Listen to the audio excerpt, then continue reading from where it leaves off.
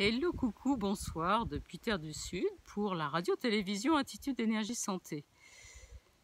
Alors ce soir, je vous avais euh, promis une liste de courses. Alors ça, c'est évidemment une sorte de petite blague parce que de liste de courses, vous n'allez point en avoir.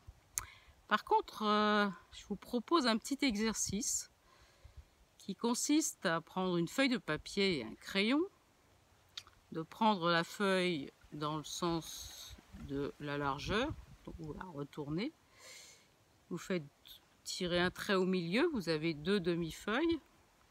Et sur la demi-feuille de gauche, vous allez noter dans votre alimentation euh, quotidienne, habituelle, tout ce qui vous paraît suspect, dans l'idée de revitaliser votre organisme.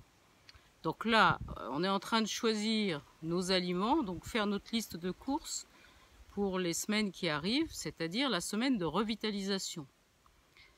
Donc ça veut dire qu'il va falloir apporter des aliments qui soient très riches en vitamines, en minéraux, en antioxydants, qui apportent des acides gras de bonne qualité, des protéines de bonne qualité et des fibres, tout ça c'est parfait, mais euh, évidemment, a priori, le minimum provenant de l'agroalimentaire, le minimum de produits un peu toxiques, genre les boissons sucrées, phosphatées, style les sodas, euh, tout ce qui est euh, excitant, tout ce qui est à base de produits vraiment transformés, ultra transformés. Hein, tout ça, on va essayer d'éviter. Donc, en sachant ça, tout simplement, vous allez mettre dans la partie gauche de votre feuille tous les aliments qui vous paraissent un peu suspects dans votre alimentation, donc qui appartiendraient plutôt à ces catégories-là. Et dans la partie droite de votre feuille, vous allez inscrire tout ce que vous aimez bien manger et qui vous paraît du côté de la revitalisation. Donc je vous donne juste quelques petites pistes. Euh, des, légumes, euh, des légumes verts, qui seraient issus d'une agriculture ou biologique ou raisonnée, des fruits, des légumineuses, des graines oléagineuses, des fruits gras, des graines germées, des herbes aromatiques, des épices euh, de super bonne qualité. Tout ça, ça pourrait être super intéressant.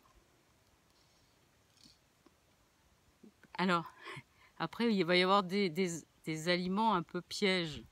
Il y en a un qui me vient tout de suite à l'esprit. Il faut dire que je suis entourée d'une population qui aime cet aliment. Il y a un aliment qui est difficile à classer, qui est le chocolat.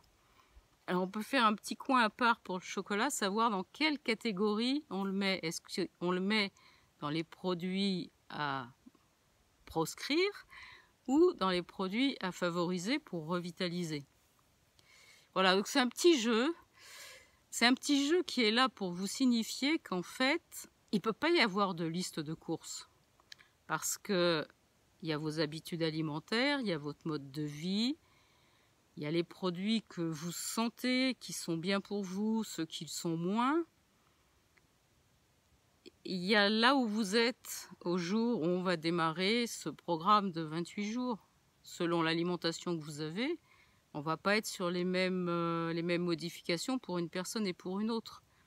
L'idée, ça va être de procéder en douceur. Hein. Il ne s'agit pas de faire des performances invraisemblables, surtout pas de brutaliser le corps en faisant des changements euh, brusques, mais au contraire, jour après jour, de se dire tiens, j'enlève encore un peu de celui-là au profit de celui-là.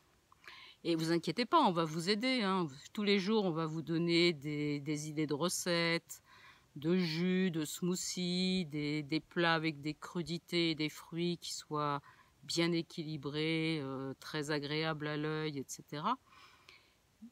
Mais bah, c'est vous qui allez faire le job, c'est-à-dire que vous faites vos deux catégories, et puis bah, demain, on fera une petite vérification. S'il y en a qui ont envie de poster euh, sur euh, la page Attitude Énergie Santé ou sur le groupe, euh, vous proposez vos postes, on les fera passer, on pourra mettre des commentaires en dessous. Et on va avancer comme ça. Mais enfin, l'idée, voilà, elle est là. C'est on favorise les légumes, les fruits, tous les petits aliments qui sont très très gorgés de vitamines et de minéraux, euh, les herbes aromatiques, les épices, euh, les graines germées, c'est des, des, bombes d'énergie, hein, les graines germées, les graines oléagineuses, l'avocat, etc., etc., etc. La liste est longue. Et puis, on élimine tout ce qu'on peut de l'agroalimentaire, du transformé, surtout de l'ultra transformé. Et puis, on se déleste un peu du gluten, surtout le gluten industriel. On se déleste des céréales, on se déleste des produits laitiers. voilà, ben, je vous souhaite une belle soirée et je vous dis à demain pour de nouvelles aventures.